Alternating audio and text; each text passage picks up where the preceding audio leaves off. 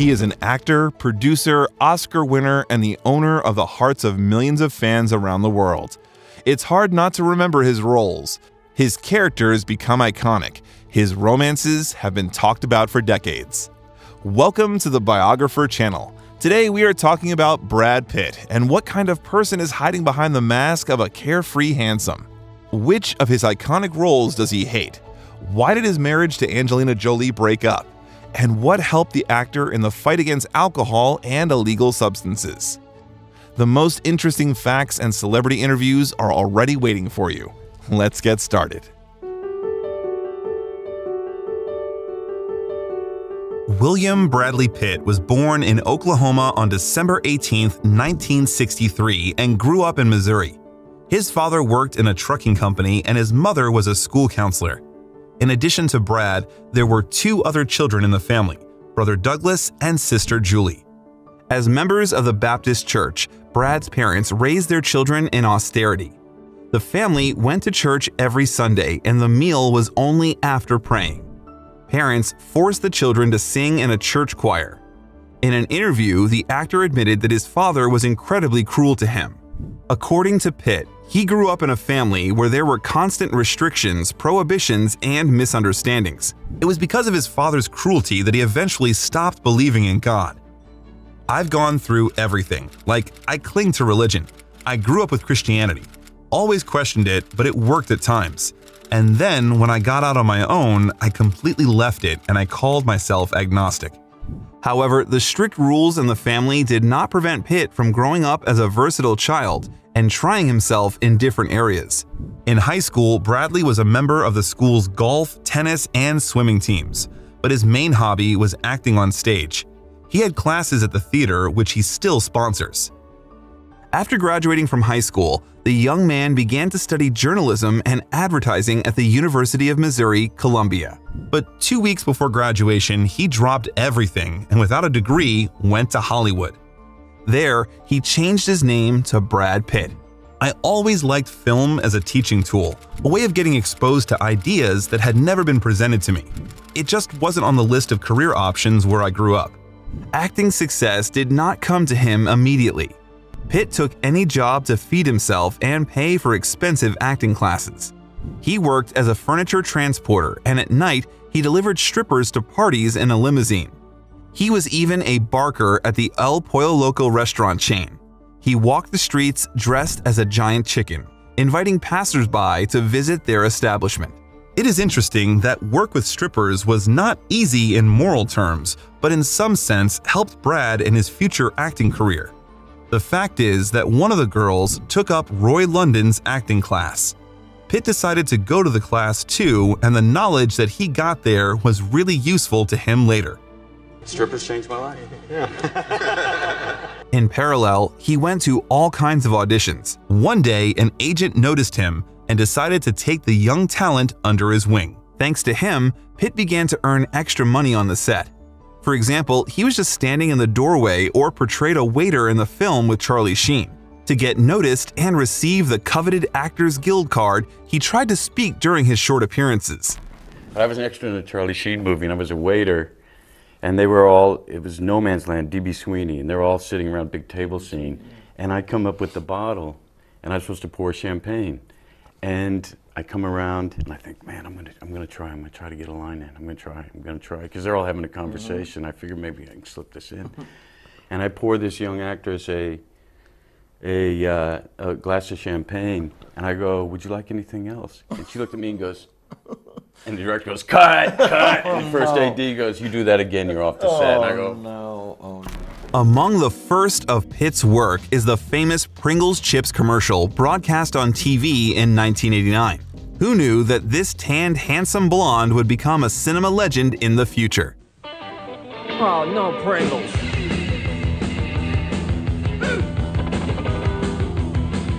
Two years later, Pitt finally started getting cameo roles. For example, he got the role in several episodes of the TV series Another World and in everyone's favorite Dallas. Hi, Randy. Hi, Marnie. Hi, Charlie. You look great, Charlie. Thanks. That was followed by roles in Growing Pains, Tales from the Crypt, as well as in the well known 21 Jump Street, where Johnny Depp began his career. The first major movie role of Brad Pitt was a guy whose illness did not allow him to appear in the sun without protective dark clothes. The film, The Dark Side of the Sun, was shot in Yugoslavia in the late 80s. Due to the Civil War, part of the film footage was lost for 10 years, and the movie was released only in 1997. Yes. Sick and tired of this farce. After the first bad experience, the young actor made his way to the cinema as best he could. He first appeared alongside Patrick Dempsey in the comedy Happy Together, and then in the horror film Cutting Class, where he played the school basketball star. Let's go to your house, huh? Why? Well, your father's still hunting. We can be alone. For this role, Brad Pitt received his first serious fee $12,000. In the 90s, Pitt returned to television again to play more serious roles. The actor appears in the TV movie Too Young to Die with Juliette Lewis. His character, Billy, is a drug addict who takes advantage of the defenselessness of young Amanda and makes her an accomplice in a crime. So where you been all night, my love? You do not own me. The hell I don't.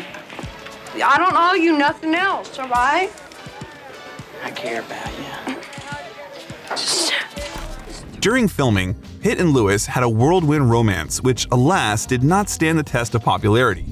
Juliette remained a promising actress, while Brad moved to a higher level. The handsome man got tired of constant scenes of jealousy, and he left Lewis after three years of marriage, having an affair with Gwyneth Paltrow. Juliette took the break too close to her heart and even tried to commit suicide. Meanwhile, Pitt's career continued to go up. He appeared in six episodes of Glory Days Canvas, the HBO television movie and the movie Across the Track. Summing up the TV roles, Pitt is filming a Levi's commercial. 1991 became a real breakthrough for the young actor. Then came the crime drama Ridley Scott's Thelma and Louise, in which Pitt played the role of the conqueror of hearts, J.D. Well, I may be an outlaw, darling, but uh, you're the one stealing my heart. In the film, Pitt has three small episodes, including the famous sex scene with Geena Davis, which brought him fame as the sexiest partner of modern Hollywood. Shortly before that, Pitt starred in the comedy The Favor, but its premiere took place only in 1994 due to the bankruptcy of Orion Pictures. In the films Johnny Suede and Cool World, released in a year, Brad played the main roles. However, the films were not well received by critics and did not differ in originality. I'm gonna tell you this once, because you gotta be smarter than you look. You're dealing with shit here that's way over your head. But the role of a fearless reporter in the drama A River Runs Through It by Robert Redford proved that he wasn't just a handsome guy in a cowboy hat, but a talented actor. They say Pitt was very displeased with the results of the first auditions. He was able to insist on being allowed to send a video with another scene. As a result, the second version convinced the director that the actor was really suitable for the role. He doesn't like fishing. Doesn't like Montana. Sure as hell doesn't like me. Well, maybe what he likes is somebody trying to help. Brad didn't fight so hard for a place in the movie for nothing. A River Runs Through It impressed critics and received a number of Oscar and Golden Globe nominations. And although Brad didn't receive awards, that film took him to a new level and drew the attention of directors to the young talent. In 1993, Pitt starred in a cameo role in Tony Scott's True Romance, written by Quentin Tarantino. His hero never gets up from a couch and constantly smokes weed. By the way, Pitt himself suggested making his character a junkie always lying on a couch. Condescend me, man. Well, the next project took him to new heights. On November 11, 1994, Interview with a Vampire, The Vampire Chronicles was released. Kirsten Dunst became famous. Tom Cruise proved that he was able to play the villain. Well, for Brad Pitt, shooting in one of the most important films in his career became a living hell. The actor later called the role a failure. That noise. It's driving me mad. That noise! We've been in the country for weeks with nothing but that noise. Yes, they know about us. They watch us dine on empty plates and drink from empty glasses. First of all, it was physically hard. Pitt hung upside down every day to rush the blood to his head and to bring out a vein. He also wore a heavy wig and contact lenses that hurt his eyes. Like a real vampire, Pitt did not see the light. Almost all the shooting was carried out at night and then in the middle of winter in foggy Albion. Six months in the fucking dark, the actor complained. The fact that the author of the original book, Anne Rice, was categorically dissatisfied with the casting for the main roles made things worse. The fact is that she wrote the first version of the script herself, representing the perfectly beautiful Frenchman Alain Delon in the image of Louis. It is understandable why the writer was so outraged by the subsequent casting for the film. There was nothing in common between the star of intellectual European cinema and the hopelessly earth Brad Pitt, who advertised fried chicken yesterday. I'm frightened of myself. That, of course, demoralized Brad. If the actor had been inspired by the story itself, all of the above suffering would have paid off. And he did when he was preparing for the role. Pitt was familiar with the book and read the first version of the script, which he was quite satisfied with. But when Brad got the final script two weeks before the start of work, he realized that it would not be at all what he expected. Every day, he felt more and more disappointed in his role. In the book, this guy asked the question, Who am I? At that time, it was very close for me. Am I a good person? Am I on the side of the angels? Am I bad? Am I on the side of a devil? In the book, he is in search. In the film, they made the central character of Lestat. Everything connected with it is very interesting and exciting, and I had nothing to do. I just had to sit and watch. Thus, the screenwriters gave the talented actor the background role, not allowing him to really open up. I'm not the spirit of any age. I'm at odds with everything. I always have been. Already in the midst of filming, he felt so depressed that he still tried to leave the project. He was stopped only by a forfeit of $40 million, which he would have to pay the studio back to break the contract. Unhappy, depressed, and missing the sun, Brad was tormented to the end. And I must say, in the film, the lack of enthusiasm for him is noticeable. I walked as I walked years before when my mind swam with guilt at thought. Although the film received mixed reviews in the press, the audience loved it. However, the scene of Kirsten Dunst and Pitt kissing greatly outraged some viewers. It was then discussed for a long time in the media, and the actors later admitted that they felt very uncomfortable during the filming of that moment.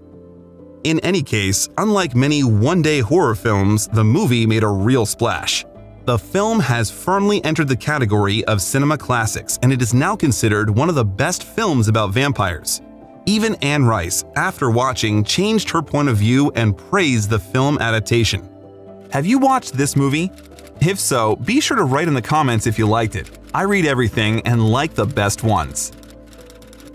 In the same year, Edward Zwick's large-scale epic Legends of the Fall was released, where Sir Anthony Hopkins himself was Brad's partner. The film received numerous Academy Award nominations, including Best Sound and Best Costume Design. And Brad finally got his first Golden Globe nomination. Miss Fincannon. It's a pleasure to meet you.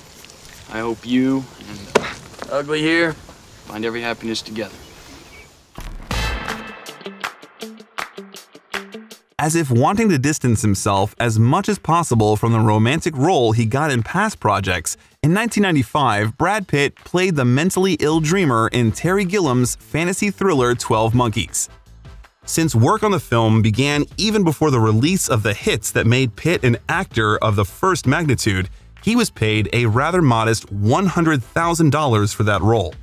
But in the end, the actor got something more valuable than money. Even Bruce Willis, who was already a star at that time, agreed to the minimum fee. It was all about the opportunity to work with an extraordinary director. Pitt visited the psychiatric department of Temple University for several weeks to play the mentally unstable Jeffrey Goines. The actor carefully rehearsed all the awkward, crazy movements of his character and selected a special timbre of his voice. In order for Pitt to be able to pronounce his lines correctly, quickly, and nervously, Terry Gilliam sent him to a tutor. But then he figured out just to limit the actor in smoking, and he, feeling stressed, played exactly as Gilliam wanted. The efforts of this duo were not in vain. For his role, Pitt received a Golden Globe and his first Oscar nomination for Best Supporting Actor. In the same 1995, the film Seven by David Fincher was released. For the filming in it, Brad refused a role in Apollo 13. There were some injuries on the set. During the filming of the chase scene, he slipped, hit his hand on the windshield, and got a ruptured tendon. Pitt had to wear a cast until the end of filming, and the production team had to urgently edit the script so that the character also got injured. As a result, in the scenes that were supposed to take place before the chase but were filmed later, the actor had to hide his cast hand. Interestingly, studio executives were not satisfied with the ending of the film and asked Fincher to rewrite it. But Brad, who considered her the most suitable, rebelled and threatened to leave the film if the ending was changed. After its release, Pitt was included in the top 25 sexiest stars in the history of cinema according to Empire magazine. He was subsequently voted Sexiest Man Alive by People magazine twice.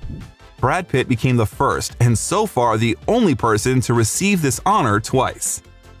But Brad did not have time to enjoy the status of an enviable bachelor, because even during the filming of the movie Seven, he began an affair with Gwyneth Paltrow.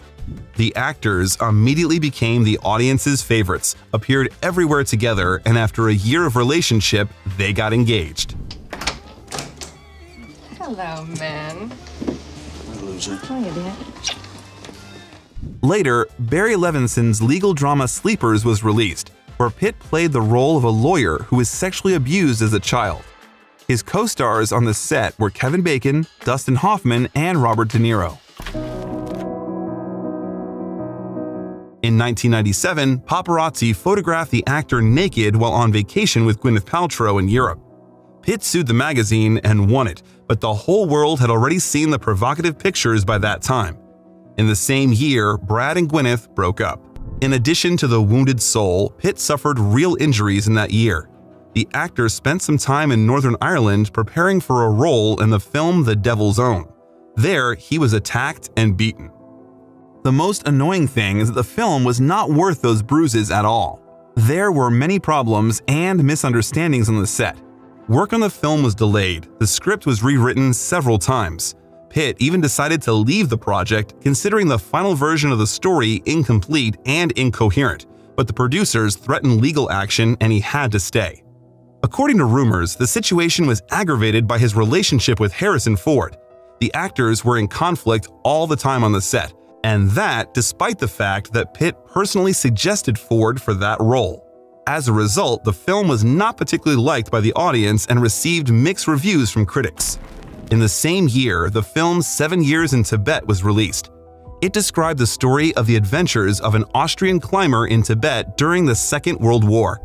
The film was based on the autobiographical book of the same name by the Austrian climber and traveler Heinrich Harrer. Brad got a very complex and controversial character, and it's not even that the actor's accent in this film was named the third worst accent in Hollywood history according to Empire magazine. In the film, Heinrich Harrer had a negative attitude towards the Nazis, but before the premiere, there was information that his prototype was actually a member of the Nazi Party and served in the SS. However, Harrer later stated that it was mistakes of youth, but an unpleasant feeling remained. Since the film implied a political context, among other things, Pitt was often asked about his position on that matter. Who cares what I think China should do about Tibet? I'm a fucking actor. I'm a grown man who puts on makeup. When the film was released, the Chinese government denounced it, saying that Chinese communist officers were shown to be excessively rude and cruel to the people of Tibet. Because of that, Pitt, Thewlis, and director Jean-Jacques Annaud were given a lifetime ban from entering China. Despite all this, many viewers liked the film. And after a while, the ban was cancelled and Pitt visited China in 2014 and 2016. Following this film, Brad reappeared with Anthony Hopkins in Meet Joe Black, a remake of the 1934 film Death Takes a Holiday. The actor played death that took over the body of a young man. Although the actors coped perfectly, the reviews for the film were mixed. The main reason for the critics' dissatisfaction was the three hour duration of the film, which slowed down the pace of the narrative too much. At the same time, there were no special effects in the picture, and for some time, the film was the most expensive in the history of cinema, where special effects were not used. A two hour version was made to show the film on television, but director Martin Brest ridiculed and disowned that one. Therefore, in the credits of the short version, the director's name was changed to the famous Hollywood pseudonym Alan Smithee, which is used in cinema for directors who want to disown the project. The film received several nominations for the most famous anti awards in the world of cinema and show business in the nomination of the Worst Film of the Year and Worst Remake. Despite this, the film grossed a good box office although according to some film critics, it is believed that this happened due to the fact that before the start of the picture, there was a trailer for Star Wars The Phantom Menace, and fans of the series bought tickets for Meet Joe Black, only because of an opportunity to watch the trailer for the new picture of the legendary saga. While working on the picture, Brad Pitt and his colleague on the set, Claire Forlani, had an affair, which, however, ended quickly enough. But in 1998, the press had a new reason for gossip. Brad started a relationship with Jennifer Aniston, whom he met on a blind date. Pitt was captivated by a carefree, laughing girl who seemed to have been created for him. Rumor has it he even took Greek lessons because Aniston is of Greek descent. It's funny that the actor played in the TV series Friends the role of a guy who hates Rachel, the heroine of Aniston. Rachel Green. Oh, oh, that's right. Are, are you gonna be okay? Oh, I'll, I'll be fine. It's just, God, I hate her, Ross. I hate her. But for now, let's go back to 1999, the year Tyler Durden appeared. Initially, the producers of Fight Club considered Russell Crowe for the role of the charismatic soap merchant, but then their choice fell on Pitt. Seeing him in action, no one regretted their decision. Have I ever let us down? How far have you come because of me? Pitt did not want to act in Fight Club until Fincher, the director of the picture, himself appeared on his doorstep and over a couple of bottles of beer persuaded him to take on this role. Before filming began, Brad and his co-star Edward Norton had to prepare thoroughly. They seriously took up boxing to make the fight scenes look high quality, and they also attended soap making lessons. How could they go without it? At the same time, Norton and Pitt followed different diet and training regimens in order to show the contrast between the two characters. In an interview, Norton admitted that the goal was to make his character look weaker and weaker and Pitt's character stronger. Brad got bigger and stronger throughout the film, more muscular, tanned, and more handsome as I turned into Gollum. Unfortunately, this subtle visual metaphor is often overlooked by viewers because Pitt is so attractive that most actors will, in principle, look like Gollum in his background. In addition to training, for the sake of filming in the movie, Pitt specifically chipped his front teeth as he felt that it would be in keeping with the character of his hero. Many scenes in the film do not accidentally look too real. The fact is that in the scene where the narrator hit Tyler Durden in the ear for the first time, Norton had only to simulate a strong blow. But a few minutes before the shooting began, Fincher took Norton aside and told him to hit for real. So the grimace of pain on Pitt's face can hardly be called fake. Motherfucker! And in the scene where the narrator and Tyler were playing golf, they were actually drunk. It is clear that Pitt did not really want his parents to see this picture, but they insisted on their own. After watching the chemical burn scene, they really regretted their decision. We're models for God. If our fathers bailed, what does that tell you about God? No, no, I don't. Listen to me. You have to consider the possibility that God does not like you, never wanted you. In all probability, he hates you. This is not the worst thing that can happen. The movie failed miserably at the box office, not even paying for itself. Some of the bigwigs at the film company lost their jobs as a result. Only Brad Pitt remained in the black. His fee was $17.5 million, seven times more than Edward Norton. Despite the failure, just a few years after the premiere, the film was recognized as one of the most outstanding films of our time and rallied an army of ardent fans around it. It will not be superfluous to say that Fight Club is the rarest case when the adaptation of the story surpassed the literary source on all accounts. Even the author himself, Chuck Palahniuk, admitted this. It would seem that after making a film where they really hit you in the face, almost knock out a tooth, and so on, Brad would have gotten tired of this genre. But the actor found out that director Guy Ritchie was working on a new film. Pitt, being a big fan of his previous work, especially Lock, Stock, and Two Smoking Barrels from 1998, wrote to the director and asked for the role, and Ritchie agreed. Brad Pitt entered the new millennium at the height of his career. And Guy Ritchie's movie Snatch once again confirmed the actor in the status of a superstar. It was a dream job for Brad. As the director told Esquire, he called me and told me that he wanted to be part of whatever I was doing next. Pitt elaborated on the story. At that time, I did something that I felt was very commercial, and I was really interested to see what new directors were doing and what was coming out. So I was viewing everything of first time directors, and I saw this movie Lock, Stock, and Two Smoking Barrels by this cat named Guy Ritchie. And so I called him up and said, Hey, I really like what you're doing, and if there's anything that I can fit in, then let's talk.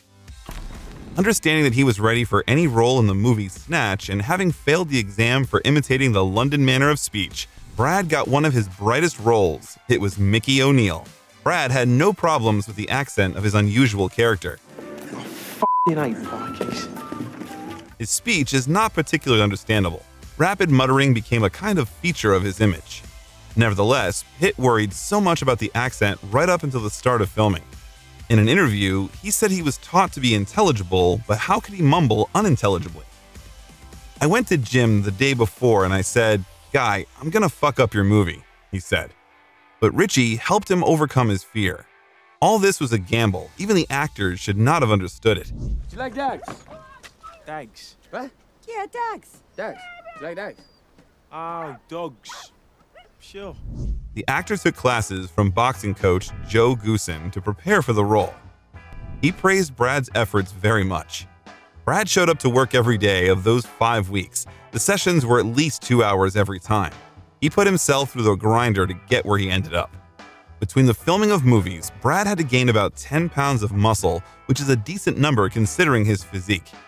Although he did not like the fact that he would have to play a boxer again after his recent experience in the previous film. In addition, Brad almost didn't take a shower during filming. How else to play a sleazy Irish traveler who lived in a van?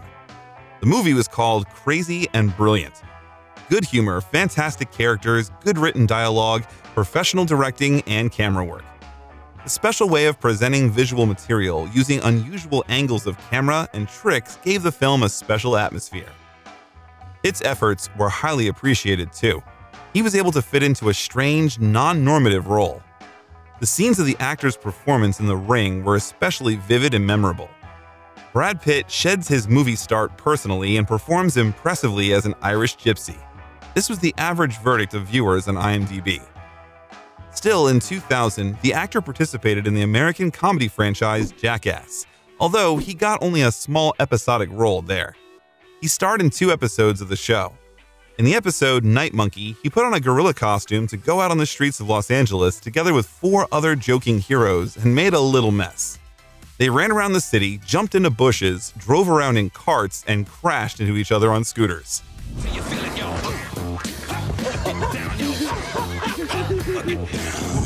Apparently, Pitt was ready to go on the show, Johnny Knoxville said on Hot Ones. We were all like, oh, we really don't want him to get hurt because he's Brad Pitt and he's, but he did not care. He, he was ready to do it. He was the first one in the middle of the street, and we're like, no, no, no, no, no, don't do that. But he didn't care. By this moment, Brad was already developing an affair with Jennifer Aniston. They started dating sometime in 1999, appearing together at the Emmy ceremony. Already in 2000, they announced their wedding. Pitt was captivated by Aniston's carefulness and brightness. Jen is the woman of my life, Pitt proudly declared in every interview. The budget of the actor's wedding was estimated at about $1 million. The ceremony itself took place in Malibu, but you can hardly find photos on the internet. They say the location was decorated with 50,000 flowers and the fireworks cost the couple $20,000. The guests recalled the ceremony was simple and relaxed, and the young couple took vows in a playful way. It was under the influence of Jennifer that the actor acquired the secular gloss familiar to many and played his most successful commercial roles. And it was during this period that the actor looked in love in every interview. The Vanity Fair article where you were saying that maybe it's not, maybe two people, the nature of two people is not meant to be with each other forever. Well, I don't know. I, I don't, I'm not sure what I was talking about. Okay. In 2001, a comedy thriller, The Mexican by Gore Verbinski, with Brad in the title role, was released. He got the role of Jerry Welbeck, who by chance stays on a criminal path. Julia Roberts was his partner on the set. She played his hysterical girlfriend, Samantha.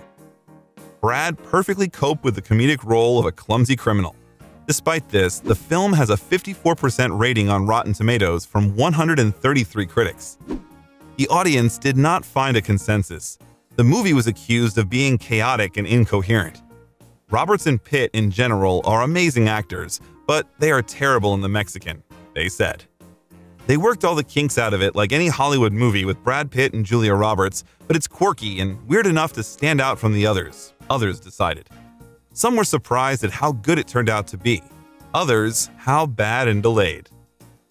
No matter how sophisticated the critics were in their research, the movie earned $147.8 million, and it stayed in the first place at the box office in North America in the first week. After the Mexican's awkward charisma came the mysterious Fluor spy game, where Brad got the role of, well, of course, a spy named Tom Bishop. There, he tried on black aviators and got into the image we will all like later in the future. Repeat that? Throw out the bottle. They know. They don't know. They don't fucking know. They'll be waiting. Drop as close to checkpoint as possible. Negative, we're coming across. No. That's an order. The actor refused to participate in the equally famous picture, The Bourne Identity, to star in the film. Some scenes of the movie were supposed to be shot in Israel, but due to the escalation of the Israeli Palestinian conflict in 2000, filming had to be moved to Morocco. Tony Scott's thriller became a blockbuster hit, grossing $143 million worldwide and received mostly positive reviews from film critics. It was praised for playing flawlessly in partnership with Robert Redford. The consensus reads The outcome of the kinetic spy game is never in doubt, but it is fun watching Robert Redford and Brad Pitt work. In parallel, Pitt did not miss the opportunity to star in the cult TV series Friends as an invited guest. Oh, oh, that's right. Are, are you gonna be okay? Oh, I'll, I'll be fine. It's just. God, I hate her, Ross. I hate her. The third film in 2001 was, well, maybe you can suddenly remember it, huh? Of course, we are talking about the famous Ocean's Eleven, a crime film by Steven Soderbergh. Eleven people got together to rob a casino. Brad was among them in the role of Robert Rusty Ryan. He is the right hand of the protagonist and his best friend. He is elegant and balanced, but at the same time, he is an avid gambler and sharper. This was how the world saw the new image of the actor.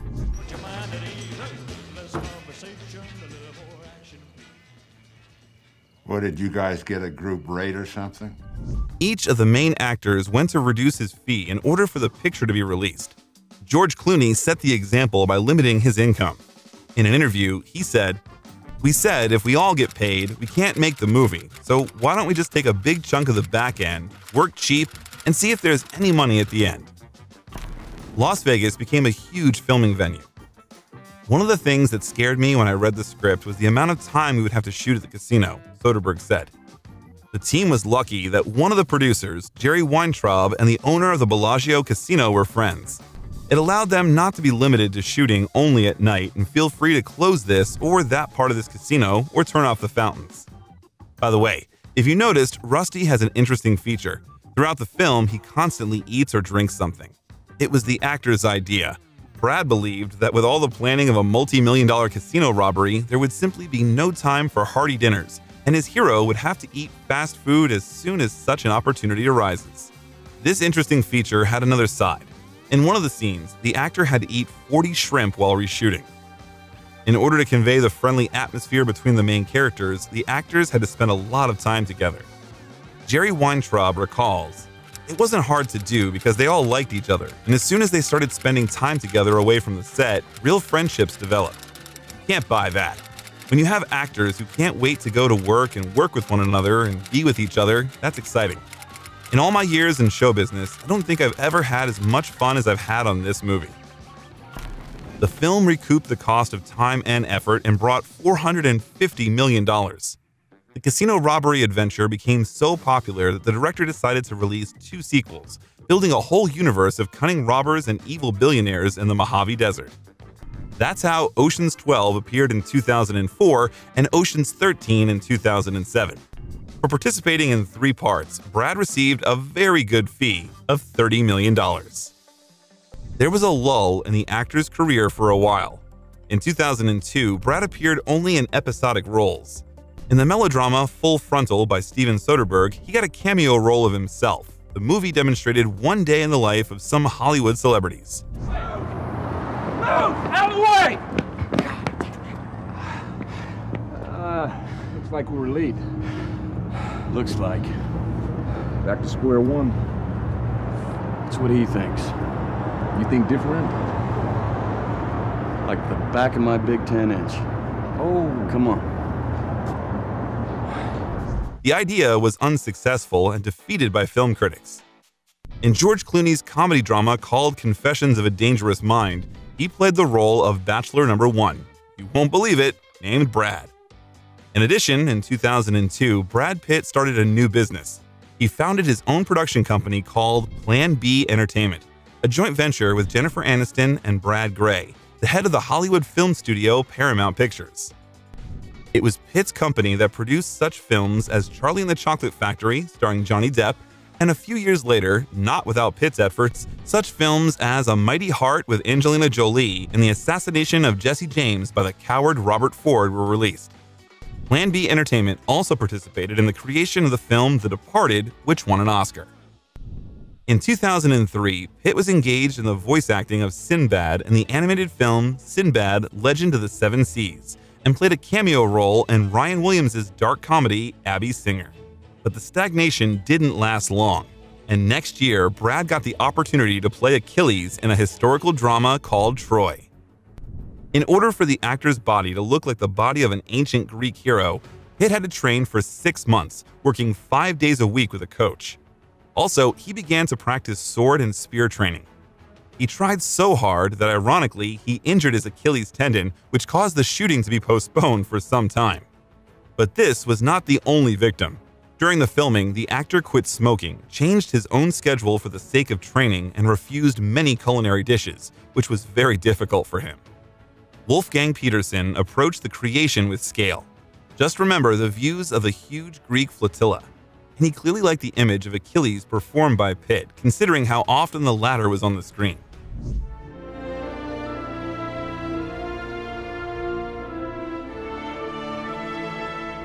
Well, why not?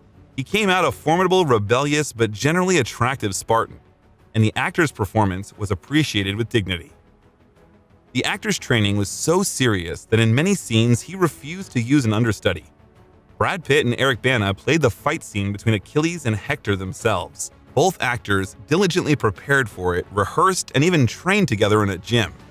The actors concluded a gentleman's agreement among themselves to pay each other for each successful hit $50 for a light hit and $100 for a serious one. As a result, Pitt paid Bana $750, but he did not receive a cent. The film was a great success, grossing $497 million.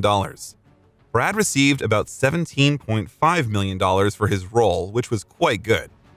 The reviews were contradictory. The number of positive reviews from critics slightly exceeds the number of negative ones. Metacritic gave the film 5.6 points. Professional critics were not so generous. Jonathan Foreman from the New York Post wrote that the film Troy was spoiled by one of the worst castings in recent Hollywood history. The lackluster ensemble hired by the director was overwhelmed by impressive scenery and mass scenes. Roger Ebert, one of the most famous film critics, gave the film two stars out of four. The critic was dissatisfied with the lack of Greek gods, characters shown as typical action movie heroes, and computer generated armies. The characters are not as complex and conflicted in the Greek drama as they were shown in the film.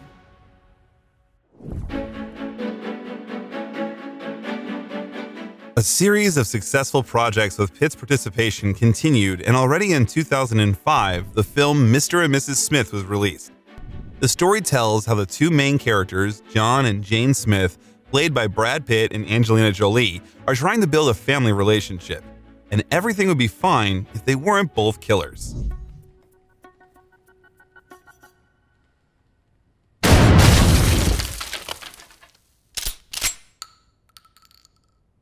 You still alive, baby? Jolie was not the first candidate for the role. Initially, Nicole Kidman was supposed to be Mrs. Smith, but she eventually refused this opportunity because of her participation in the filming of The Stepford Wives. After Brad also left the project, the producers began sorting through the candidates. There was even an idea to invite Gwyneth Paltrow to create a special tension in the film. Doug Liman admitted, but Brad is a human being. Even if he was game for it, it's wrong for us to put him in a situation where he's going to have to relive the demons of a relationship. Only after Jolie agreed to the role, Pitt returned to filming. Angelina mentioned that she had her own reason to agree to the role. In an interview with Vanity Fair, she explained that two unsuccessful previous marriages with actors Jonny Lee Miller and Billy Bob Thornton helped her get into the role. She said, It was a study of partnership, what's going wrong, and what we're struggling with. Finally, it's can they work as a team, and are they covering for each other? By this point, both actors were popular stars. Therefore, the news about the joint project generated a huge interest from the press and an inextinguishable onslaught of paparazzi. According to the memoirs of producer Akiva Goldsman, paparazzi armies lined up along the highway. It was impossible to stop them. The problem became so serious that some members of the press inadvertently got into the film. As a result, they had to be cut from the final version. It got to the point that they promised $300,000 to the shooting group for a joint photo of actors. Then they were using a scanner to listen to our walkie talkies, said the director. The filming process was interesting, largely due to the fact that both Pitt and Jolie were the force to be reckoned with. The director admitted the personalities of the actors were the opposite of the images they played. She in the movie is playing the way Brad is in real life, and vice versa. I mean, he really is a homemaker. He's into fabrics and art and architecture, and what color is on the wall? Eggshell or ecru? She had no point of reference at all from her own life of what a normal home would be like. And she's much more into weapons as a human being than Brad is. Anytime my prop guy did show and tells of knives and guns, she'd be very, very knowledgeable. Shooting competitions between the main actors added fuel to the fire. Both stars took lessons with weapons to look believable and the live ammunition that was used at the same time taught them to trust each other. Moreover, Jolie, like Pitt, preferred to perform tricks in difficult scenes on her own. The competition was not only in shooting but also in combat scenes. In an interview, Angelina admitted that it was more difficult for Pitt to perform such scenes because it was not easy for him as a man to hit a woman. We wanted, you know, every time a husband and wife says to each other, I could just kill you, we thought, what if they really could? She recalled. Come to dad. By this point, Pitt had been married to Aniston for five years. After the end of Friends, Jennifer declared that she was ready to replenish the family, and the couple's fans discussed their wonderful marriage. In an interview with The Guardian, she said, It's about time. You know, I think you can work when you have a child. You can work pregnant, you can do anything. So I'm looking forward to slowing down. And after the filming was over, she planned to go on a trip with Brad. But the miracle did not happen. The big passion on the screen of Mr. and Mrs. Smith turned into a big passion off the set. Rumors began to circulate around Brangelina, which eventually turned out to be confirmed. Jolie recalled how her relationship with Pitt began. I didn't know much about Brad's personal life. I was quite happy to be a single mother. Suddenly, this strange friendship developed between us. Few months later, I realized that I couldn't wait to start working on the film. We just enjoyed everything we had to do together and became something of a couple. It wasn't until the end of filming that we realized that maybe our relationship was more than we thought. On January 7, 2005, Aniston and Pitt officially announced their separation, emphasizing that they remain friends. The actor commented on their divorce. I haven't lived an interesting life for myself. I think my marriage has something to do with it. This marriage pretended it was something it wasn't. Jolie and Brad's romance grew into a 10 year relationship and made a family with six children. Write your opinion in the comments. What couple do you consider cool? Is it a relationship with Jolie or Jennifer? And we continue. Mr. and Mrs. Smith became very popular and brought in $487 million. Although it had mixed reviews, the birth of Brangelina greatly overshadowed the film both during filming and at the box office. Everything was complicated by the fact that fans and viewers were more interested in the details of the personal life of the heroes than the movie itself.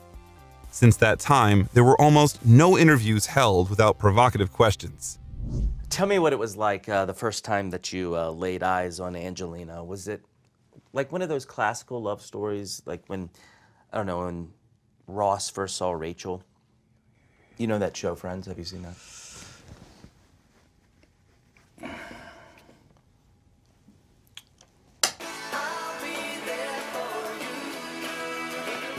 The next was another big work by Brad Pitt, Babel, the movie of Alejandro G. Inarritu.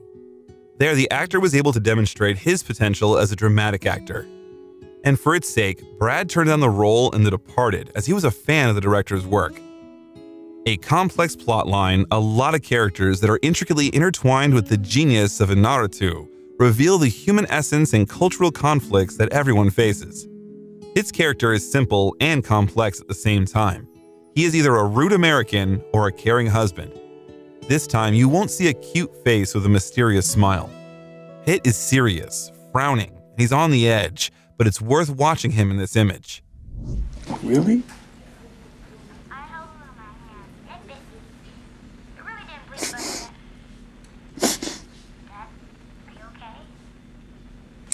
No, I'm okay. Another unusual role in the actor's piggy bank is the image of the legendary raider and robber of the Wild West, Jesse James. His life was illustrated in Andrew Dominik's biographical western, The Assassination of Jesse James by the coward Robert Ford. The director was able to show us another non typical side of Brad gloomy, mournful, compassionate, and kind at the same time. Here, we see Pitt in the role of a daring, unpredictable sadist who kills not only out of necessity, but also for his own pleasure. Gradually, his character falls into paranoia, seeing betrayal in close friends and associates. But you're giving me signs that grieve my soul. And make me wonder. Maybe your mind's been changed about me. A deep work that conveys a deep and contradictory human experience to the viewer. In that period, we see the desire of the actor to invest his time in serious, meaningful stories. In 2019, Pitt told the New York Times, In the 90s, I did become aware that there was this kind of leading man role that you could plug any of us into and it didn't even matter. We would all have the same result. For his role, the actor was awarded the Volpe Cup for Best Actor. In 2008, the film was awarded two Oscar nominations, a Golden Globe nomination, and many others. In 2008, Pitt performed one of his most high profile roles in the film The Curious Case of Benjamin Button. The film was the actor's third work with director David Fincher and was based on the short story of the same name by Francis Scott Fitzgerald. The role radically differs from the previous ones. It's energetic and revolutionary in style, visual presentation, and tone. Gradually, it involves us in the plot and asks such simple and such important questions the transience of life and the importance of its moments. The love thread played by Pitt and Cate Blanchett is also important. Sleep with me. Absolutely. The actor's desire to choose roles not just for the sake of roles can be seen. Brad tried to be critical of the role selection in order to prove his talent and choose interesting projects. However, such projects required a lot. To make everything look as natural as possible, Pitt was for about five hours every day under the power of the makeup artists.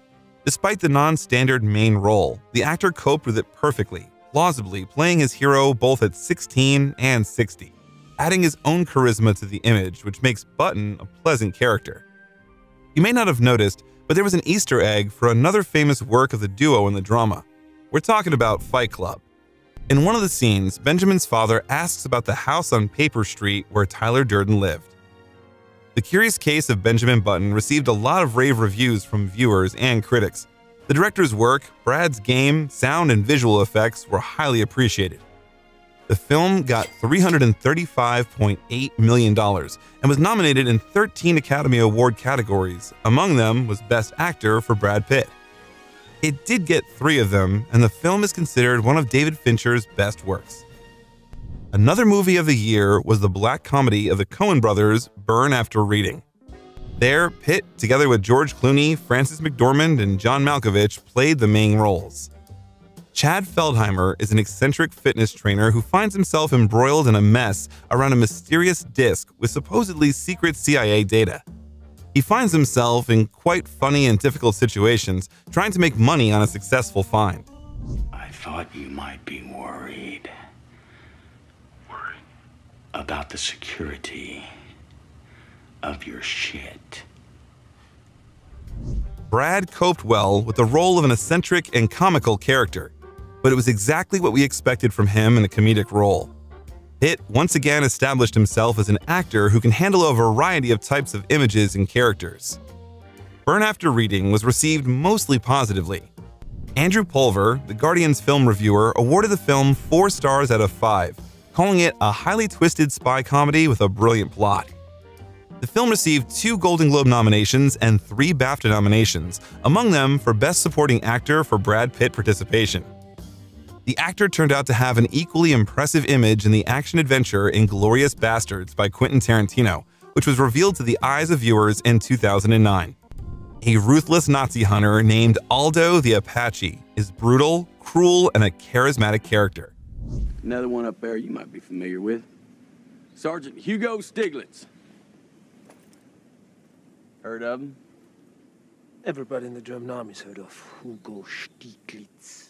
Pitt hesitated to take on this role because of Harvey Weinstein's association with the film and the outrage of the film itself. But Tarantino convinced him. He was helped by a night of conversations about the role in the Miraval Castle, where Brad lived with Angelina and a bottle of Pink Floyd pink wine. Pitt told, All I know is we talked about backstory and we talked about movies into the wee hours. I got up the next morning and I saw five empty bottles of wine on the floor. Five. And something that resembled a smoking apparatus. I don't know what that was. Apparently, I had agreed to do the movie, and six weeks later, I was in a uniform. Quentin spent about 10 years writing the script and admitted in an interview that he did not fully understand how this story would end. He explained to Rotten Tomatoes When you start writing, you have your characters on a metaphorical paved road, and as they go down it, all these other roads become available that they can go down. I've never put any roadblocks on any of these paths. My characters can go wherever they would naturally go, and I'll follow them. Pitt liked this character so much that he stayed in character most of the day, Tarantino recalled. It wasn't some methody, psychotic kind of thing or some unnerving kind of thing. He could always respond as Brad, but there was always a little Aldo in there. He was pleased with how Pitt understood his character and intuitively played it right. And the German will be sickened by us. And the German will talk about us. And the German will fear us. The alternate history of World War II received many positive reviews, as well as eight Oscar nominations, including for Best Film, Best Director, and Best Original Screenplay. The movie got $321 million and pleased all fans of both Tarantino and Brad. The actor also had the pleasure of cartoon voiceovers. In 2010, Metro Man from Megamind spoke Brad's voice, and in 2011, he voiced Will the Krill in Happy Feet 2. By this point, Brangelina's family had grown quite large. They were raising their son Maddox, whom Angie adopted back in 2002. Three years later, the couple had a daughter, Zahara, from Ethiopia. In 2006, the Jolie Pitt family had a biological daughter, Shiloh, and a year later, a Vietnamese boy named Pham Quang Sang was adopted, who was later named Pax. But the external ideal was disrupted by frequent conflicts in the family. According to those close to the couple, Angie and Brad argued literally about everything from politics to what to cook for dinner. The actor was seriously addicted to booze and marijuana, which will later become a serious argument not in his favor. In addition, in 2007, Brad was allegedly spotted in the company of a Sudanese model with whom he had an affair. At least, that's what the magazines wrote. Anyway, fatherhood became an important part of the actor's life, according to him, and it had a great influence on him. I feel like the richest man alive since I've become a father. I worry about them all the time. That's the emotional bond and responsibility that sweeps over you when you have a family to look after. I care about them more than I care about myself, which I think is the real definition of love. In interviews, Pitt always warmly speaks about kids. I think, what can I give them? Children are your life. All the attention is on them as it should be, he said. But let's get back to the movies. For Pitt, 2011 was a year of drama. On May 26, the scandalous film The Tree of Life by Terrence Malick was released in the United States. Brad got the role of the strict and domineering father, Mr. O'Brien, who was trying to raise real men in his sons. Can I pass the butter, please? You pass the butter, please, sir. Sir. The situation in the family worsens after the death of one of the children. Despite the fact that a huge script was written, the director didn't actually stick to it. Instead, Malick created several quarters of the 1950s and practically let his actors in them. There was no noise and specially installed lights. According to Brad, one guy just walked behind them with a camera and film. Every day, he gave his actors a few notes that were more like a stream of consciousness. Pitt remembers, it was a really free-form, butterfly net kind of way of catching moments, counterintuitive to the way we do things in Hollywood. He doesn't want to do what he calls hammer and tong a scene as it's written. He doesn't want to do more than two takes, and on the second one, he'd often throw in a dog or send in one of the kids, or just do something surprising to change the tenor of the scene. Then he'd laugh and laugh. The role itself was originally intended for Heath Ledger, but after his death, he was replaced by Brad, who had to overcome his role as a charming hero. Everything was complicated by the fact that it was difficult for the young non-actors who played the sons of the main character to take what was happening seriously, because in front of them was a guy from the cinema. I was supposed to be getting on their case and they're laughing, so I had to take the eldest two off the set and say, this is serious, this is what we're here for, and don't come back until you're ready. After that, they stopped looking at me as the guy they'd seen in the movies, the actor recalls. In addition, Brad was accompanied by a family which at that time had four children and two on the way, and Pitt and Angelina took turns looking after them.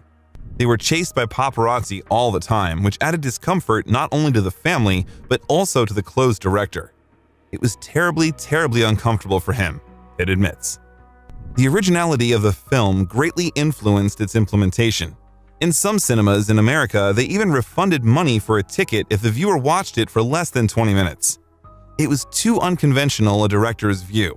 An emphasis was on the viewer's own spiritual experience. The creator tried to pass it through the screen of musical and visual perception of complex philosophical issues. The question of the meaning of life, the importance of being loved and appreciated. It was made through his own personal interpretation of the meaning without an obvious attempt to explain to the fans what the director wants to tell us. In general, Malick, the famous hermit and lover of existential questions, never tried to explain the meaning of the Tree of Life. The film received three Oscar nominations, including Best Film, received the Palme d'Or at the Cannes Film Festival, was included in the list of the best films of all time by Sight and Sound magazine, and join the personal list of top 10 favorite movies of the famous critic Roger Ebert. The second drama of the year was the work of director Bennett Miller, Moneyball, where Pitt also had the main role. He played Billy Beane, the famous manager of the Oakland Athletics baseball team who tries to promote the team no matter what. Brad was given a difficult task to show the life path, the external and internal struggle of the main character for his ideals and goals. He was able to show Beane's battle well on all fronts, as a manager, father, and husband, to convey his feelings and desire to overcome difficulties.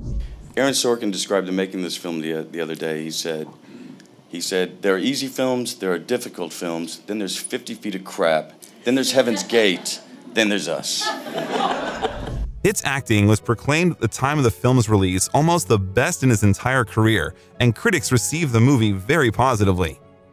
The drama earned $110 million and six Oscar nominations, including in the Best Film of the Year category, as well as four Golden Globe nominations. Brad, who was nominated in the category of Best Male Role, was not spared in both nominations.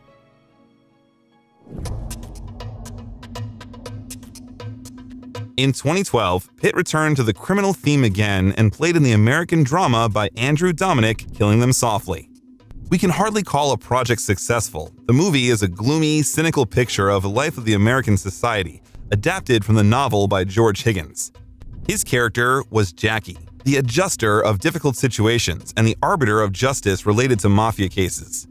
Brad here is undoubtedly handsome in his leather jacket and comb back hair. You want me to call Dylan for you? So you can talk to Dylan and see who I am? But charisma did not help the film. Critics reacted negatively to the director's attempt to tie the idea of the picture to the economic crisis of 2008 and mafia showdowns to global economic problems. What particularly annoyed many was how Dominic arranged the narrative with the help of a striking sound design, in which the words of Barack Obama, George W. Bush, and others buzzed in the background, sometimes only loosely tied to the world of the film. The audience also did not appreciate the picture. CinemaScore interviewed users gave it an A, and the film became one of the 19 films that received such a poor rating. The following year brought more success. The post-apocalyptic action movie World War Z, directed by Marc Forster, based on the novel World War Z by Max Brooks, was released. Pitt got the main role, which he combined with the position of producer of the film. The project was very out of the usual roles of an actor who rarely took part in action movies. Even when it happened, his characters were different from the standard in those action movies where he agreed to play. There is an opinion that Brad and his production company, Plan B Entertainment, took up the film adaptation for purely commercial reasons. According to the plot, he is a former UN employee named Gerry Lane who is trying to save the family in every possible way from the oncoming zombies with incredible strength. The filming was distinguished by its enormous scale. In Scotland, the production company hired 2,000 extras, and the number of the filming group was 1,200 people. Just remember those huge decorations. Great attention was paid to every detail, and every detail had to point to the context. In the episode where the dental office was shown, special emphasis was placed on the teeth. Director Marc Forster adds, It's not just about zombies, it's about a global apocalypse that happens to be spread by zombies. I wanted to create a movie that feels real, so audiences feel like this could happen this minute to any one of us. The general premise is that anything can happen in any kind of scenario on any given day. No one is spared, everyone is susceptible. That's the plotline in the movie, but it's also real life. Pitt argued for his choice of director by saying that his most memorable moments on film were intimate and human. But not everything was rosy. Starting with the fact that the script was rewritten several times, ending with a tense relationship between Pitt and Forster, who was not familiar with blockbusters and did not fully understand how he himself saw the result and was confused in decisions. The final product didn't stick to the original source and more resembled a simple action movie starring Brad. The emphasis was placed more on the actions and struggle of the Lane family for survival than on the broader political and social consequences of the total struggle against the extinction of mankind. Pitt himself told Geoff Boucher from EW how he originally imagined World War Z. He saw it as a thoughtful political blockbuster. These elements mostly disappeared during rewriting and reshooting and turned the picture into a road movie, with the addition of a thriller and a horror film. Jerry! Jerry, what? Stay back! No, no! The conflict with the local Hungarian police added fuel to the fire. It raided a warehouse with props where the production stored 85 weapons for filming in Budapest. It happened due to the fact that the weapons were not approved by the national government. It turned out that it was combat and fully functional, which led to proceedings. However, the movie was still a commercial success and got mostly positive reviews. It recouped the costs of $190 million, earning $540 million. On October 18th, a historical drama, 12 Years a Slave, directed by Steve McQueen, was released. It became an adaptation of the autobiography of Solomon Northup. There, Northup tells about his difficult fate in which he had to fight for his own freedom as an African American in the middle of the 19th century. Pitt got a small role of a Canadian worker, Samuel Bass, who helps the main character on the way to this victory. The image of the Bass turned out to be something typical, almost biblical, with conceptual conversations about good and evil. What amused me just then was your concern for my well-being in this heat, when, quite frankly, the condition of your laborers. Condition of my laborers? It is horrid. The hell? It's all wrong. All wrong, Mr. Epps. 12 Years a Slave brought Brad the coveted Oscar statuette, given to him not for acting, but for producing work. Another minor role went to the actor in Ridley Scott's crime thriller The Counselor. The image of an intermedium between the main character and the drug business became one of the brightest in the picture, but many criticized the actor for deliberate pretentiousness. Life wisdom combined with jokes from snuff films, a cowboy hat, and the look of Master Yoda turned out very ambiguous. They think everybody's hooked into something. You need to think about this, counselor. These people are out 20 mil. You understand how serious this is? However, several articles were subsequently published about the scene where Pitt's hero died. The audience was impressed so much either by a plausible game or by the bloodiness in the details. The counselor was criticized by the audience for the imperfection of the script, for relishing sex, murder, and violence, and for the weak performance of the actors. On film critics' websites, it earned an average rating of 4 out of 10. In 2014, David Ayer's military adventure thriller Fury appeared on the screens, where Pitt got the main role of a staff sergeant named Don Wardaddy Collier. I did. Best job I ever had. The actor took his role so seriously that he literally lived in a tank, like his character, and treated it like a house. This led to one of the conflicts between him and Scott Eastwood, who, according to the script, had to chew tobacco and spit it in the tank. It would have ended in a fight if the director hadn't intervened. We were driving down the road. I'm in the turret, Shia is at the other turret, and Scott is on the back, spitting chewing tobacco. And I'm starting to get pissed off. I'm starting to get hot because this is our home. He's disrespecting our home, you know? So I said, in the scene with the cameras rolling, you're gonna clean that shit up.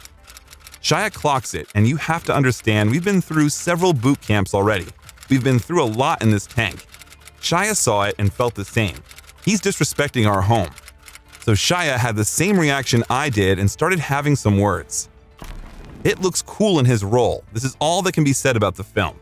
Otherwise, the film is accused of an implausible scenario, poor motivation of the main characters, and deliberate ostentation of the characters. Dozens of movie blunders, even in positive reviews. Brad Pitt is good, of course, he is almost always good, but never quite finds a way of approaching his character that doesn't call to mind his indelible performance as Aldo Raine in Inglourious Basterds. Roger Ebert expressed his opinion. In general, the picture earned $211 million, paid off, and found its fans. But it was already felt that the career of a talented actor was starting to roll into the abyss. The films released in the following years, despite good reviews, could hardly be called loud or super commercial. Brad was starring in the movie By the Sea, created by his wife, Angelina Jolie. She acted as a screenwriter and director, and Angelina and Pitt played the main roles. Being the wife of a failed writer is not good enough for pill popping and self pity. Now you need a better reason to destroy yourself? You know my reason. It was their second collaboration with Brad after Mr. and Mrs. Smith, and the last one. The story tells about the complicated relationship of a married couple who left for the island to save their marriage. According to some rumors, it was an attempt to save their own relationship, and later Angie herself confirmed this.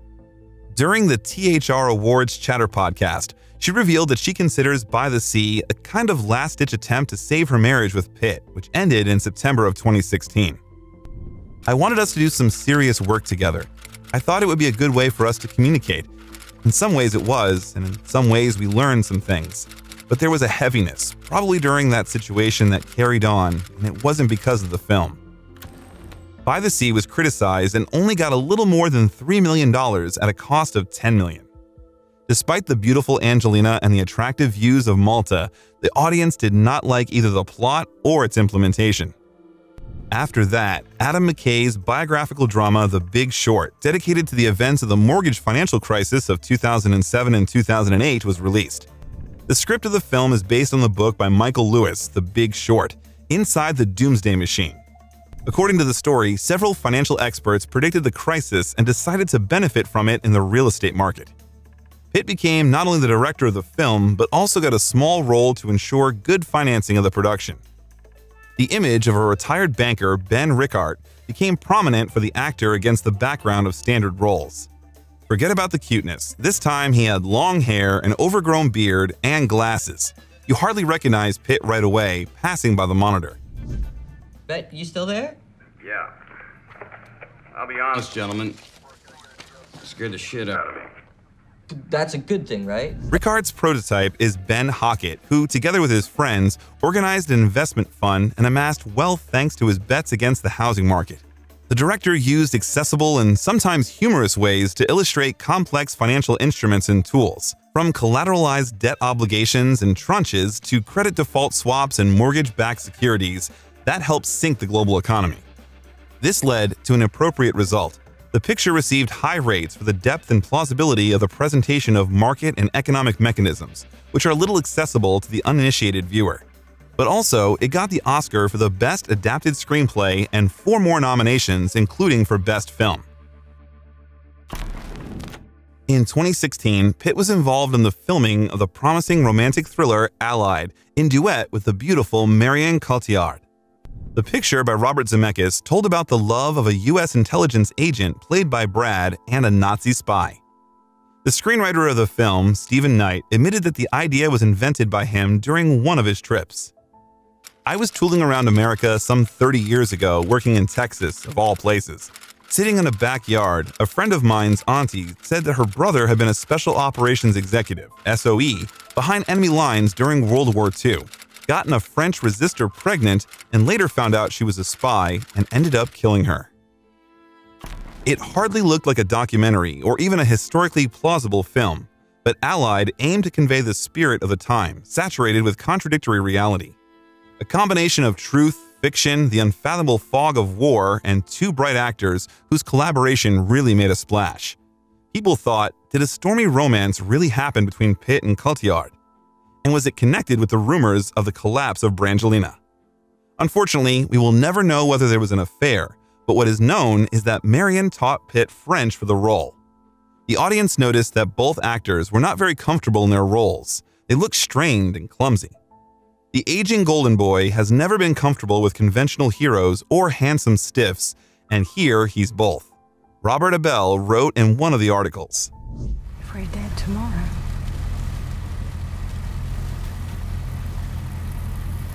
No one would know. The film received mixed reviews, in which the script and the lack of chemistry between the actors caused criticism. It grossed $119 million, paying off the cost of the film production and received praise for costumes, cinematography, and music. On the other hand, for RogerEbert.com, Peter Sobczynski gave the film four stars.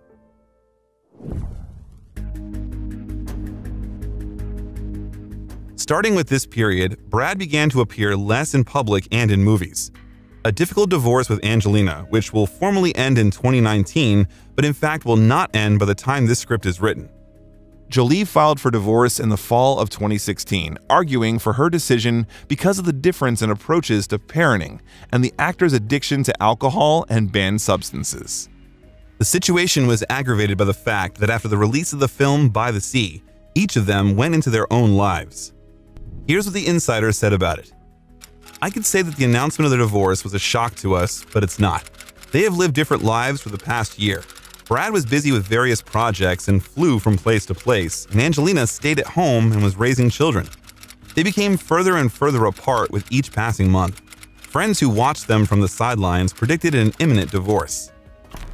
Despite the attempt to return to the relationship in 2014 and the atmospheric wedding of the actors, everything was falling apart. According to the couple's friends, the wedding itself was organized for the sake of the children and their peace of mind. But according to one of Pitt's relatives, quoting his words, I endlessly lay on the couch, smoked weed, and felt the complete meaninglessness of my life. The passion between the lovers had since faded. Angie's illness, family squabbles only brought the relationship to an end, but it marked a new round of vision in the actor's life the vision of his career and his life. Pitt began to treat the roles more selectively, abandoning the position of the external protagonist and focusing on non standard characters. He devoted a lot of time to his role as a film producer, arguing this area as a way to help the creativity of up and coming directors and promote the work of already famous masters.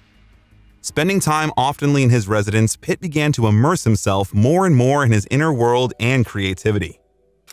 Out here in California, there's a lot to talk about being your authentic self, it would plague me. What does authentic mean? For me, it was getting to a place of acknowledging those deep scars that we carry. It has a number of properties in and outside of LA a beach house near Santa Barbara, a modernist glass and steel residence also in the Hollywood Hills, but it's Craftsman Home, which has been a fixture in his life throughout his tenure as a movie star, where he's been holed up for much of the pandemic. The house, which is located in Los Feliz, California, was purchased by the actor in 1994 from Cassandra Peterson, known to the public from the movie Elvira Mistress of the Dark. The actress intrigued Brad by the fact that there were supposedly ghosts living there. It was really run down and dilapidated. Pitt tells, I lived here for a few years and then I bounced around everywhere and just let friends crash here. And then somewhere in the aughts, I fixed it up. Been pretty much hiding out here. There, the actor was engaged in art and music without considering it as a serious matter. He sculpted ceramic products and played the guitar. I'm one of those creatures that speaks through art, it explains. I just always want to make. If I'm not making, I'm dying in some way.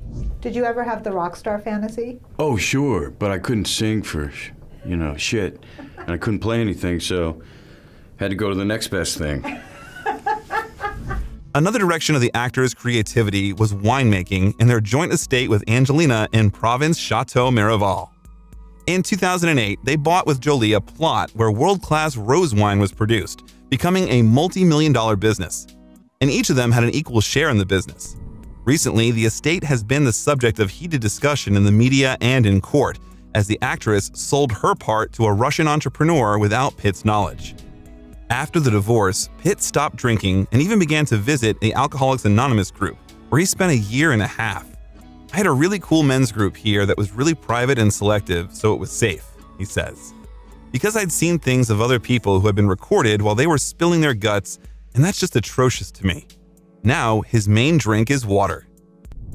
In 2017, a comedy thriller by David Michôd called War Machine was released, where Pitt again had the main role of General Glenn McMahon, whose image was taken from a real person, a former serviceman of the U.S. Armed Forces, Stanley McChrystal. And the plot itself has real references to the events of the war in Afghanistan. It is not known whether the picture would have been released if not for Brad and his production company, which took up the project. As a result, a very controversial result came out an exciting, satirical, and sometimes ridiculous black comedy in which the main character seems to make fun of himself or the story as a whole. In any case, it was very unusual for us to see Pitt in such an image. We are here to build. We are not here to harass, to intimidate. We're not here to shoot first and ask questions later. War Machine received mixed reviews and a fairly small rating an average of 5 out of 10 on film critics' websites. Among the comments there was such things as costly failure of Netflix and Pitt as the wrong choice of the main character. The next role, or rather Brad's cameo, was the image of the Vanisher in Deadpool 2 by David Leitch. But he appeared on the screen for only a few seconds at a time when his hero was being electrocuted. What was shooting that light? uh, pretty much the easiest thing I've ever done. In an interview, Ryan Reynolds said that Pitt set a very unusual condition to agree to the role. I was told all he wants is a cup of coffee, and I said, like a franchise or just one individual cup of coffee? And I was told one individual cup of coffee, which was really his way of saying, I'm doing it for nothing. And it was a total solid and the nicest thing anyone could do. According to him, Brad's consent looked crazy even for them. After all, a star of his scale agreed to the role without words and practically without actions for free. In 2019, Quentin Tarantino's dramatic comedy Once Upon a Time in Hollywood was released. There, the actor got the supporting role of a stuntman named Cliff Booth. Pitt's partner on the set was Leonardo DiCaprio, who played actor Rick Dalton. And just where I am in my life, I, I, was just really drawn to him. I love what Quentin had written. It was a guy who was pretty at peace with his place in life knew what he was dedicated to, what he was not dedicated to. Initially, Tarantino wrote a book under the same name, but then realized that it turned out to be a screenplay. A screenplay that each viewer regarded in his own way. For some, it became an easy and unobstructive movie, with deep philosophical overtones and classic Tarantino text. You are real, right? I'm as real as a donut, motherfucker.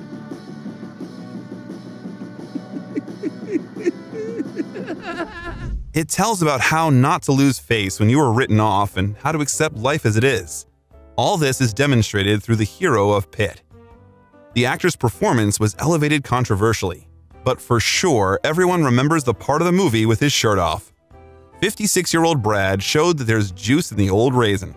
However, Pitt is not the kind of actor who likes to get undressed on stage. Quentin told how it happened. Actually, it was fun because Brad is embarrassed to do such things in public. At the same time, he works very clearly. So I go up to him and say, maybe you should gradually unbutton this Hawaiian shirt, then take it off, and then the t shirt. And he's like, seriously? You want me to go through all this button nonsense? I'll just take it all off in one go. Let's get started. Tarantino admitted that he enjoyed working with the actor. I like that this guy knows what's going on, so fuck off and let the master do his job, he added. But not by sex scenes alone. To prepare for another memorable scene, the fight with Mike Moh's hero, he specially trained before and after the shooting day. At a specially equipped training ground, he studied martial arts, especially paying attention to Filipino ones. Brad loved getting into the Filipino stick work, recalled veteran fight coordinator Rob Alonzo. But getting a sprain or a fracture during the filming fight scenes wasn't the only risk. Tom Cruise, my friend, will tie himself to a side of an airplane and it will take off and land. I put applesauce on my neck so a pit bull could give me love and affection. I don't, I don't know who's braver. Not all reviews were positive. The movie was accused of a lack of dynamics and tightness, and that it radically stood out from all of Tarantino's works. For his work on the film Once Upon a Time in Hollywood, Brad Pitt was awarded an Oscar and the Screen Actors Guild Award for Best Supporting Role. Once upon a time in Hollywood. Ain't that the truth? This is for my kids who color everything I do. I adore you. Thank you. It is noteworthy that at the screening of the film at the Cannes Film Festival, it was the scene with Pitt undressing that caused genuine delight in the audience. The audience greeted it with a standing ovation and an approving whistle. The second film of 2019 was James Gray's fantasy thriller Ad Astra. In the company of Tommy Lee Jones, he played an astronaut who goes through dangerous trials and cosmic cataclysms to solve the mystery of his father's disappearance. Along the way, you will also ponder about God and the meaning of human life. And of course, you'll enjoy the cosmic beauty. We're both fathers ourselves, and we wanted to do something very sincere and raw and painfully honest, Pitt explained, talking about himself and the hero. That was our jumping off point. Considering how much screen time was spent on the journey of Pitt's hero, it was not surprising to find out that his company was again producing the picture. The whole film is based on Brad and his ability to convey heartache and the search for meaning through an emotionally closed hero. He completely separates himself from the comedic role, plunging into a serious dramatic one. You know, it's this uh, this Marlboro Man image of don't show weakness. But then we were questioning, you know, in doing that, are we actually denying our own feelings, denying a part of ourselves, a vulnerability in this guise of Superman to really be open for our loved ones, um, for our sons and daughters, in the sense that, that we're all flawed. We're, most of us are doing the best we can. This has been the most challenging film I have ever worked on, it said. Well, it's better to get to see the movie firsthand and draw conclusions for yourself and then decide whether he coped or not. In any case, his work was highly appreciated by the audience. His performance is beautifully restrained, expressing entire continents of emotion with one eyebrow movement, commented some. Brad Pitt is simply phenomenal in this wonderfully poignant and visually exciting James Gray film. Others echoed them. Well, that's it. I mean, we we go to work, we do our jobs, and then it's over. We're here and then we're gone. Ad Astra got $132 million, paying off production costs and receiving an average rating of 8 out of 10 on film critics' websites. Some authors suggest that the film was a reflection of the actor's inner state for this period. Its recent interviews reveal his desire to become aware of himself and the world around him, to know the divine. In a dialogue with Zach Baron, he says that his attitude to religion was constantly changing. I grew up with Christianity, always questioned it, but it worked out at times. And then when I got on my own, I completely left it and called myself agnostic. Tried a few spiritual things, but didn't really feel right. Then I called myself an atheist for a while, just kind of being rebellious. And then I found myself coming back around to just belief in, hate to use the word spirituality, but just a belief in what we're all connected, he said. Pitt also often reflects on loneliness. After parting with Angie, the actor never started a new long term relationship. There were rumors of an affair with Sienna Miller, but both celebrities denied the fact. In 2019, Brad was seen together with Nicole Poturalski several times, but the romance quickly ended. On the WTF with Marc Maron podcast, he jokingly called his personal life a disaster. I always felt very alone in my life. Alone growing up as a kid, alone even out here. And it's really not till recently that I got a greater embrace of my friends and family. What's that line? It was either Reich or Einstein, believe it or not, but it was something about when you can walk with the paradox, when you can carry your real pain and real joy simultaneously, this is maturity. This is growth A kind of way to cope with the separation and perhaps not to feel lonely was his participation in charity. In 2020, photos of Brad in a red flannel shirt resting after working as a volunteer at Watts Community Corps delivering food to families in need were scattered on the web. Brad worked all the time and was grabbing more boxes than anyone there and then carrying probably six boxes at a time on a cart. Most people never realized they were facing a celebrity. But this was not the first episode of the actor's charity. According to tax data in 2006, Pitt and Angelina Jolie donated more than $8 million to charity. They visited various countries such as Pakistan, Haiti, and went to Africa to involve the public in solving pressing problems. In 2007, he created a nonprofit foundation, the Make It Right Foundation, to finance and build homes in New Orleans after the devastation of Hurricane Katrina. In the same year, Pitt and Jolie made a donation to three aid organizations in Chad and Darfur, affected by the crisis in the Darfur region of Sudan. In September of 2009, Pitt received an award from the U.S. Green Building Council in recognition of the green housing concept used for the Make It Right Foundation. In January of 2010, the Jolie Pitt Foundation made a donation to Doctors Without Borders, an international medical humanitarian organization that provides emergency medical care in more than 80 countries. In 2015, Newsweek magazine named Pitt as one of the 15 people who make America great for engaging the public on Africa's issues. After a break, Pitt returned in 2022 with three projects at once. A new stage in the actor's career began. It is felt that he switched again from authors to materials that emphasize his appearance and magnetism. On the other hand, we can see the actor's fatigue from his own fame. Anyway, that's what he says and admits. The weirdest place that you have been recognized, like yes. out in public? Well, the most uncomfortable is certainly at a urinal. If you look at his recent interviews, you can see that he tends to talk with awe about how he grew up in the Ozarks and talks less about his life as a celebrity. Brad willingly poses in suits for $1,000, but at the same time claims that he tries not to put his face on the poster of the film. I think I'm on my last legs, he told author Ottessa Moshfegh about his career for the cover of GQ. And in 2019, in an interview, he admitted that with age, his attitude to acting was changing. According to Brad, he still likes acting, but he no longer wants to focus his whole life on this, to live only in his films. In an interview, he said, There was just too much emphasis on finding interesting characters. I went, me, man, live an interesting life and the rest will take care of itself. At the same time, if you pay attention to the GQ photo shoot itself, we see in picturesque poses and bright costumes that he is still ready for battle and is not going to retire completely. The release of his movies in 2022 is clearly proof of this. On March 12th, the premiere of the adventure comedy The Lost City, directed by Aaron and Adam Nee, happened. The actor once again put on the mask of a comical, brutal, sexy, handsome male with his hair proudly fluttering. see Phone. Right.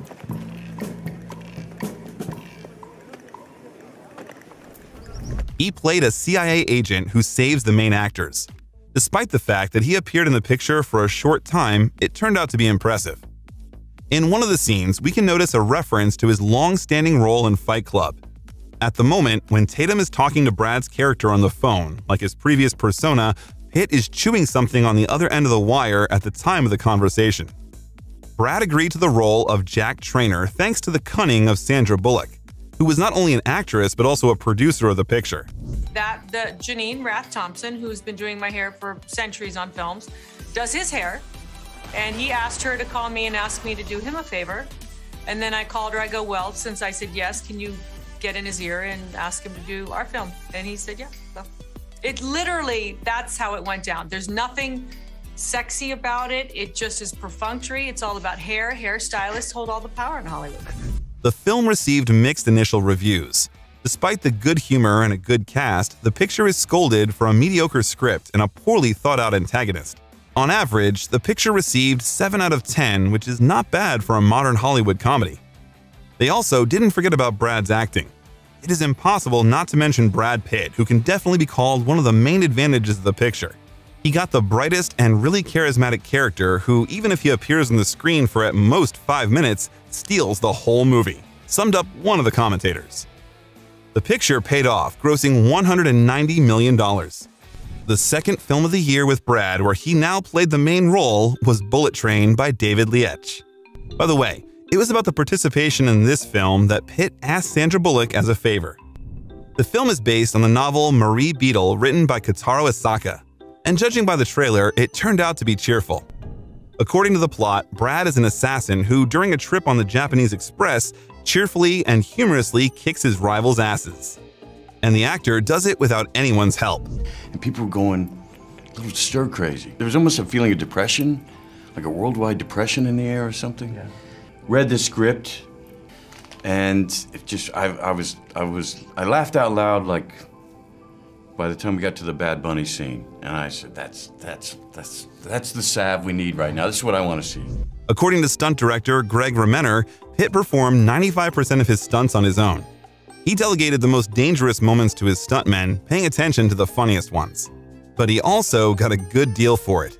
According to Variety, the actor's fee was $20 million. The actor explained his approach to filming as follows This was action comedy in, in something I had never done before. Dave and I had always been big fans of Jackie Chan. We've been talking about him for decades, uh, like just like he's our Buster Keaton. He's so talented and underrated, even. The press vividly discussed the spectacular appearance of the actor in a linen skirt during the premiere of the film in Berlin. Whether it was an attempt to prove that the actor is keeping up with fashion trends or a way to attract attention, we don't know. But Brad explained the act like this I don't know, we're all going to die, so let's mess it up. In Los Angeles, he was no less bright, which of course pleases us. It means that despite the lawsuits with Angelina and a difficult period, he does not lose his positive mindset. Even despite the fact that Bullet Train was received ambiguously, The Guardian described it as strangely tedious and extremely unfunny. Reviewing it for The Telegraph, Robbie Collin was even less impressed, awarding it only one star.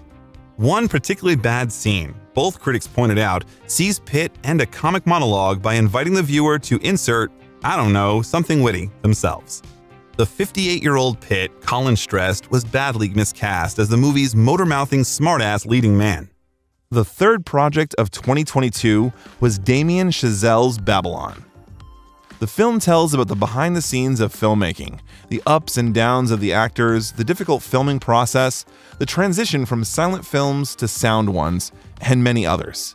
Chazelle, as one of Hollywood's greatest romantics, glorifies the cinematographic art and the impact it has on people, while at the same time showing another dirty, cynical, and cruel side of the film business.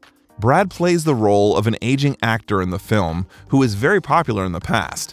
The actor has been following Chazelle's work for a very long time, and when he read the director's new script, he called it a masterpiece and immediately agreed to the role.